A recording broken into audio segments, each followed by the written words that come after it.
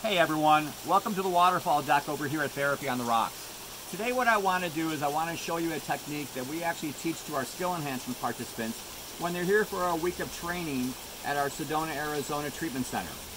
At seminars, John describes the fascial system as a three-dimensional web of dense irregular connective tissue that's comprised primarily of collagen and elastin fibers.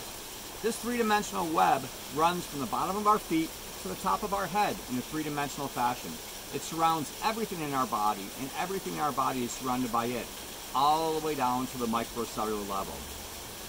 John asks us in seminars to look beyond the labels of bone, muscle, blood vessels, nerves, and organs, but yet look at all these things as specialized fascial structures or fascial sacs. He also shares with us that bone is actually comprised of collagen, minerals, and water. So it's actually mineralized fascia. So we should be able to remodel it just like we do the web of the rest of the body. Well, how do you do that? Well, I'm going to show you a technique that we actually share with our skill enhancement participants that actually focuses on mineralized fascia, which we call the bone. So we have a lot of patients that come in to our clinic that display with a bowing or a curvature of the shin.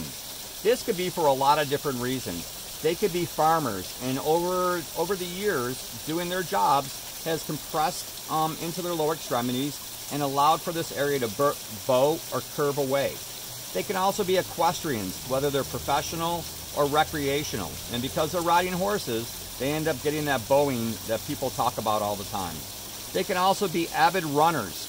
And over time, of running miles and miles and miles, they've created tightness in the shin, which we end up calling shin splints. Or maybe when they were younger, they were involved in an accident where they broke their ankle or their shin, and so they had to be immobilized. And this immobilization really just tightened down the web of the fascia all in this area. They may even be someone who, when they were growing, went through um, really aggressive growth spurts where their bone grew a lot faster than the surrounding web. So the web actually ended up um, compressing this area and eventually causing a deformity, which is this bowing that we see with our patients. Doesn't make a difference how they actually got it. They're on your table and you're seeing this, and this is something that you might want to try to treat. So the way that we actually do this is we use John's knowledge that bone is actually mineralized fascia and then we also use John's approach of exaggerating the lesion or going with the direction of ease. We combine those two things together and, and utilize them during our treatment. So what I'm going to do is I'm going to take the heel of my hand and I'm going to place it uh, between the tib and the fib of this person's shin. When we have a bowing, like I said before, we see a smiley face. So what I'm going to do is I'm going to use the, uh, the tibia as a handle by placing my hand, my, my heel of my hand between these two bones, and then I'm going to allow for my fingers to actually rest on the inside of her shin.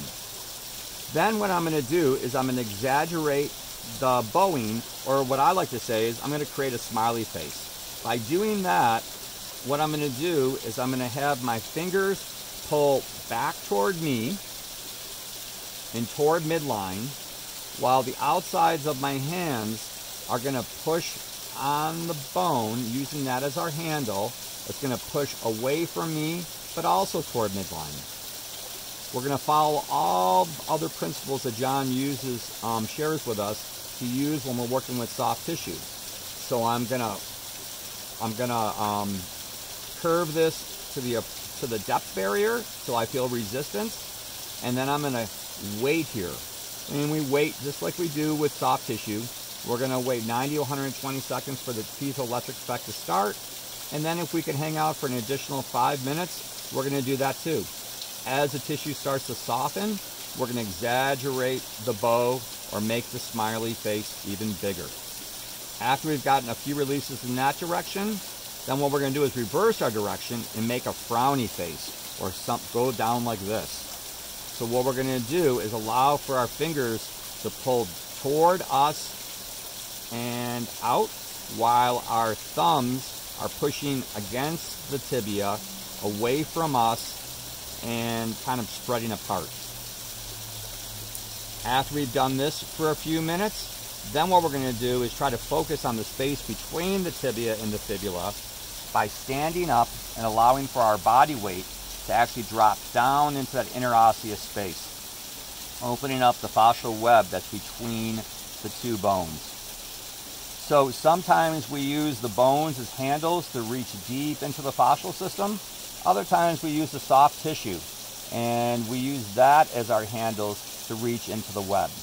But if we're doing this correctly and using all the principles that John has taught us over the years, what we're doing is influencing not just where our hands are, but the entire web of the body. So patients may feel things down in their feet, they may feel them up in their thighs, or anywhere else in the web where there might may be restrictions.